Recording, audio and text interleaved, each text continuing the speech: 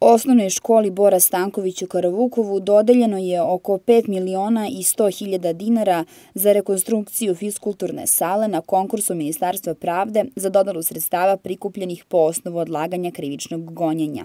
Direktor škole Vladimir Stančić rekao je da se nada da će radovi biti gotovi pre početka školske godine, ali da to zavisi od datuma uplate sredstava. Koliko će trebati vremena da se završe svi radovi kada počnu?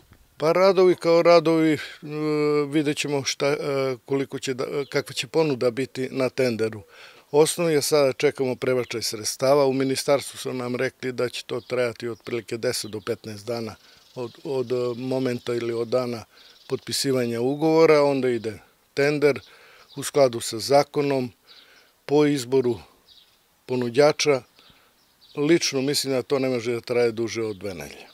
Da li očekujete da budu gotovi radovi kad, kad počne školska godina? Septembru? Sve zavisi od, eh, od toga kada ćemo dobiti sredstva i ostale procedure.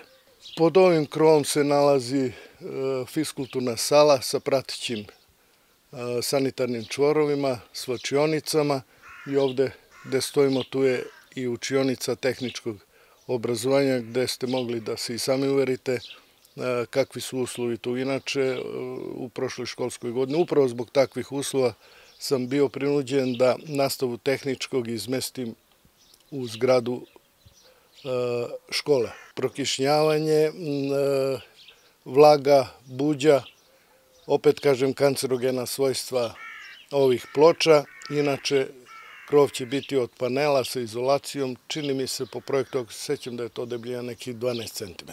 Naravno, i do, e, povećat će se energetska efikasnost koja je takođe jako bitan moment zbog ovakvih nedostataka. Inače, ovo je peta godina realizovanja projekata koji se finansiraju sredstvima sakupljenih od odlaganja krivičnog gonjenja, a vlada je odredila da 500 miliona bude podeljeno na 130 projekata koji treba da unaprede stanje zdravstvenih, obrazovnih i kulturnih ustanova.